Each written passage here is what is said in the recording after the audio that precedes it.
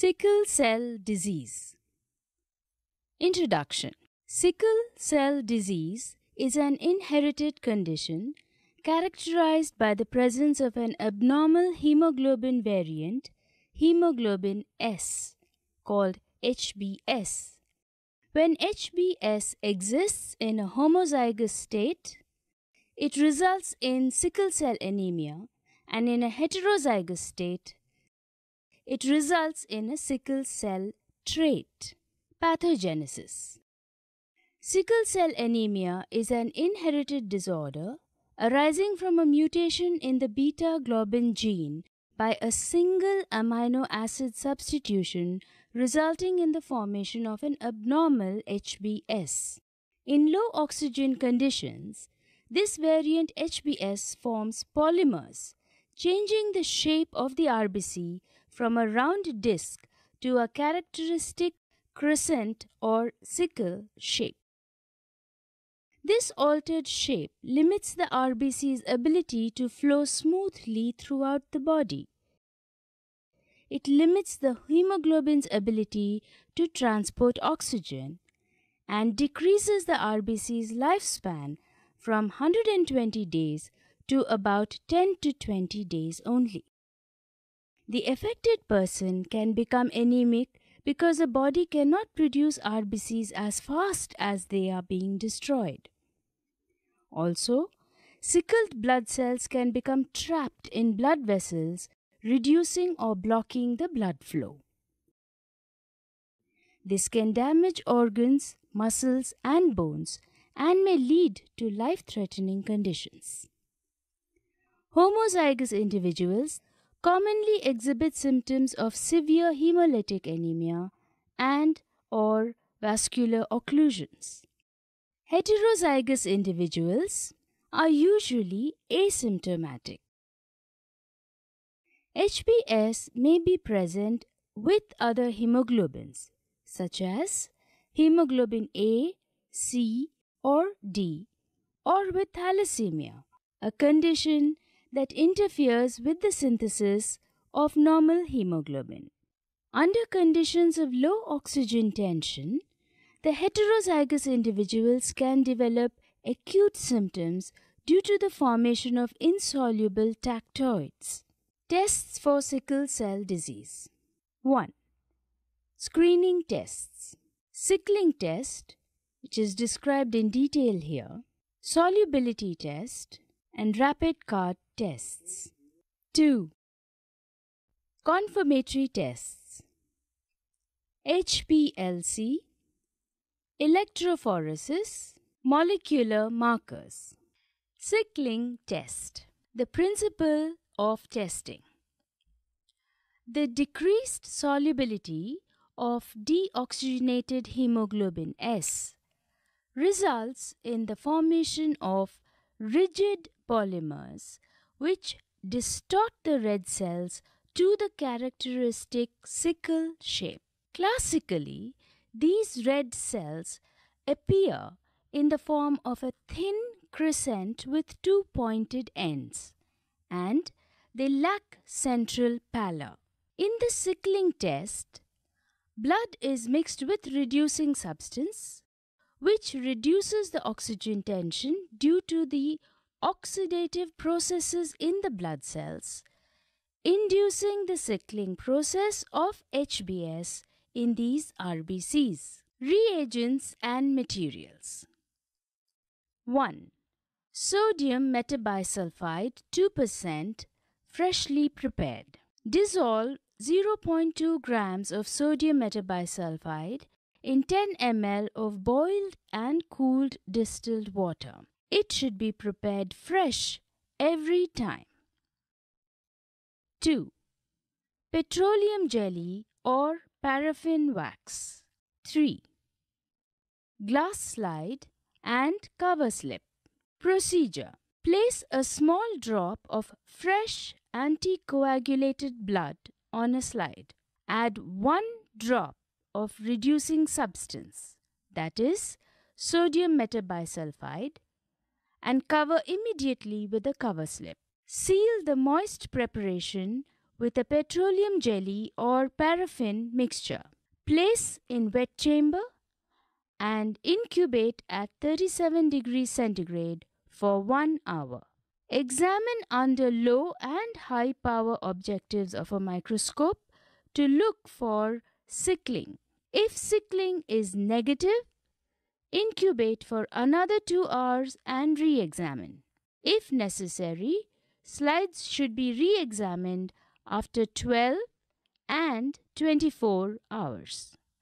Interpretation In homozygous state, that is sickle cell anemia, HBS causes complete sickling of red cells when deoxygenated by reducing substances, while in heterozygous state, that is sickle cell trait, this phenomenon is less marked and holly leaf forms are more prevalent than the sickled form. All positive cases need to be confirmed by gel electrophoresis or HPLC test. Solubility test. Principle of testing. The solubility test is the most common screening test for sickle cell or presence of HBS. It is based on the decreased solubility of deoxygenated HBS when combined with a reducing agent such as sodium dithionite or sodium metabisulfite in a phosphate buffer solution. Hemoglobin S forms liquid crystals and gives a cloudy appearance to the phosphate buffer solution. If HBS is present, solution has a cloudy or turbid appearance. If HBS is not present, the solution will appear transparent. The solubility test cannot be used to differentiate sickle cell disease, which is homozygous for HBS, from sickle cell trait, which is heterozygous for HBS. Reagents Phosphate buffer is anhydrous dipotassium hydrogen phosphate 215 grams, anhydrous potassium dihydrogen phosphate 169 grams, sodium dithionite is the reducing agent 5 grams, saponin is the hemolytic agent 5 grams, water 1 liter. Store refrigerated this is usually stable for 7 day period. Note well, there are many ready reagent mixes and buffer solutions available in the market for the solubility test. Procedure 1. Take 3 test tubes marked test, positive control and negative control. 2.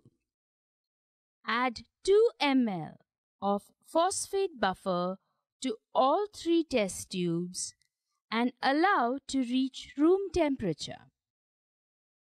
Step 3. Now add 20 microliters of whole blood sample from the patient sample to test, 20 microliters of whole blood from known sickle cell trait in positive control and 20 microliters of whole blood from a normal subject. Mix well and leave to stand for 5 minutes. Note, the color of the reagent mixture should be light pink or red.